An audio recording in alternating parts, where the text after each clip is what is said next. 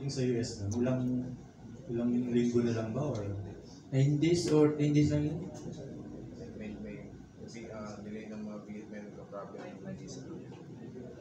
Our, ang plano sana doon is uh, a month and a half. Pupunta sila doon but uh, for some reasons may ano yung visas.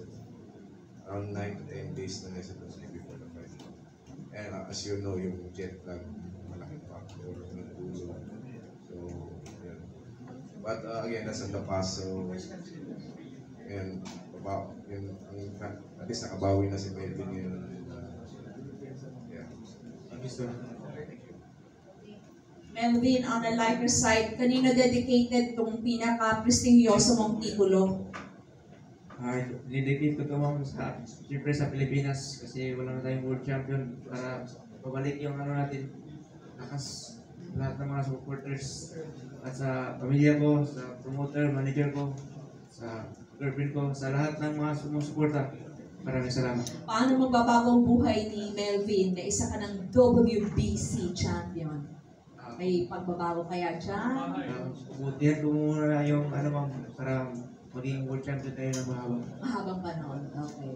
Okay. So, sige, mensahe mo muna, ah, Manager JC, okay, sa lahat, siguro, boxing community natin dito sa Pilipinas uh, after this big win of your ward.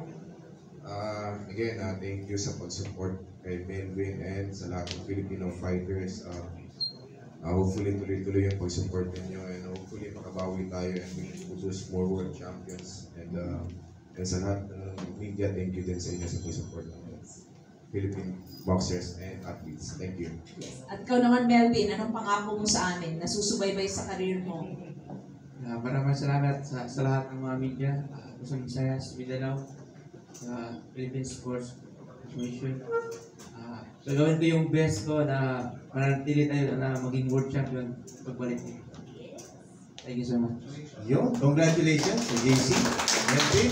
More power at uh, more uh, crowns to come. More power sa lahat ng boksingerong Pinoy. This has been your TSA Sports Forum. Until next time, God bless everyone.